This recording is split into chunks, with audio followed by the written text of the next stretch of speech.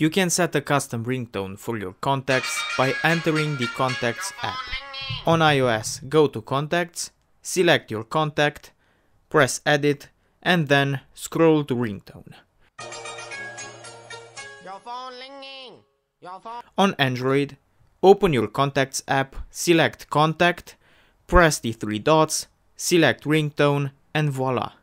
Unfortunately, on iPhone you can't put a custom MP3 file, unless you buy it, or use a workaround. But on Android on the other hand, if you want a certain MP3 file, press the plus button and select the track, or search for it. I hope this video helped.